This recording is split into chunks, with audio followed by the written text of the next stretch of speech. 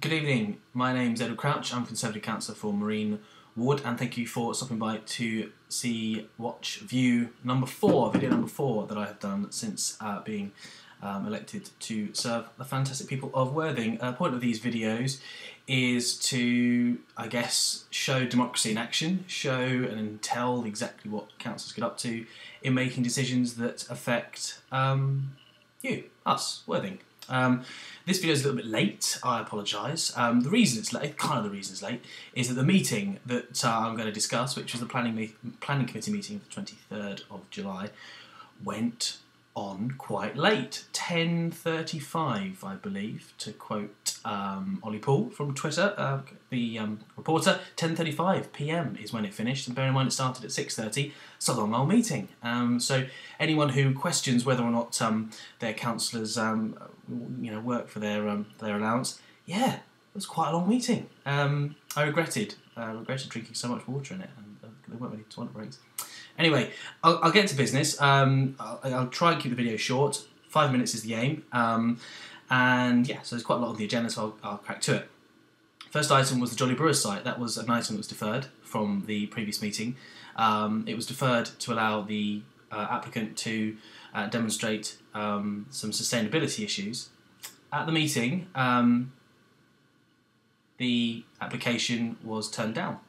Um, it was turned on design grounds. Now, it was the question was asked whether or not um, being turned down on design grounds when the application had been deferred for sustainability reasons was was fair, and I believe it was.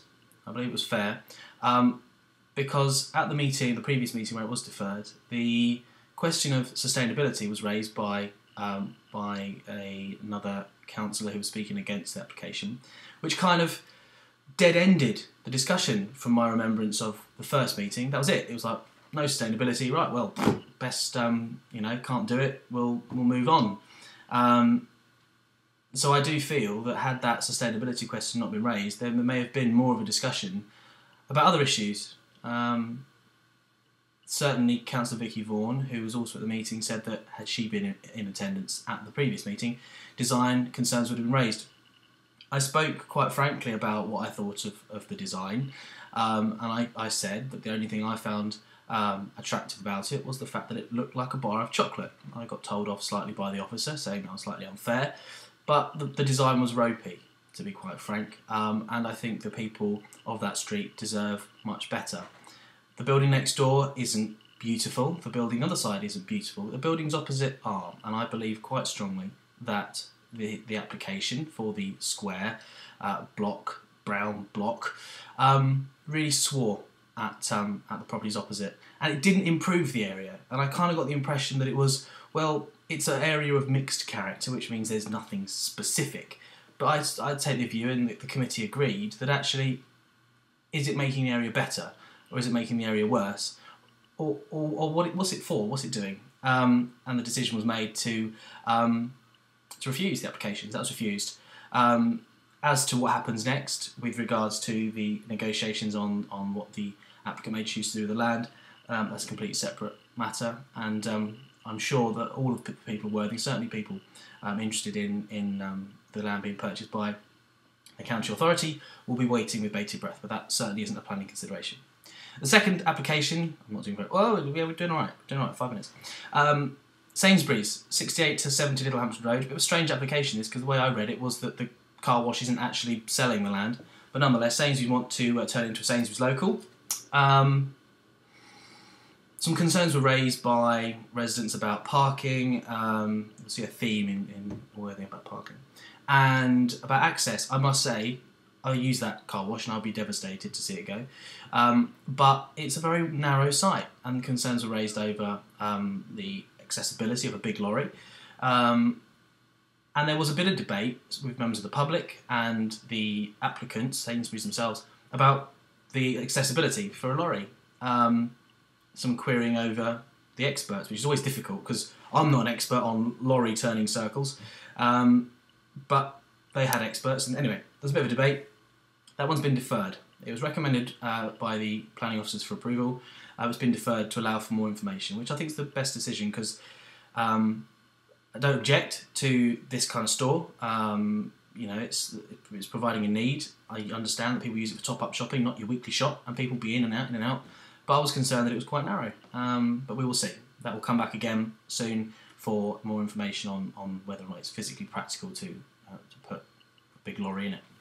30 Marine Drive, that was another one relatively um, bit controversial. Uh, that was, uh, it's at the moment it's a property in Goring, um, which is an old uh, sort of Art Deco building, green roof, uh, not in great condition, but the applicant there.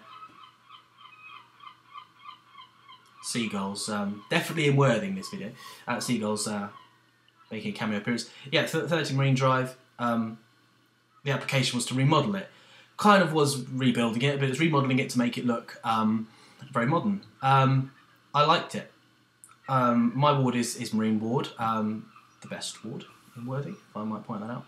Um, and we've got some fantastic new developments uh, along the along the seafront that are new. They're modern. They're they're bold. They stand out, and they look fantastic. Um, the recommendation was to approve, and I supported it. I, I, stuck my hand up, and I was disappointed that the application was um, by the committee was turned down. there was a precedent. Planning permission had been given for demolition of the of the building in 2008. Um, but the, the, main arguments, everyone in the committee seemed to be in agreement. It's fantastic design, look great, lovely, but not for Goring. Um, Marine Ward, we're quite happy to have um, to have some really fabulous developments, and um, I think they really raised the area up. And I must say that I was when I was elected, I said that um, uh, planning should be done sensitively, and I think that actually um, this application, considering what was there already, um, should have gone through. But it's a democratic process. Um, I was outnumbered. There were two of us voting uh, in favour, I think six against. Um, we'll see. We'll see what happens. But um, I think it would have would have looked good. Um, but there we go. That's the way. That's the way the cookie crumbles. Uh, 15 Byron Road. No, five Byron Road was um, to do with an annex, an extension uh, for Worthing Churches Homes project. Um, long story short, that one was delegated back to the planning officers to uh, to go further on. There were some issues and some negotiations to do with light um, that uh, one of the objectors had raised, but it sounded like the developers were being quite um, uh, flexible there and were um, prepared to negotiate. Um, the other two on the agenda were to do with an extension. It was Peveril Road and Elmgrove. They were to do with minor uh, adjustments uh, extensions, and UPVC cladding.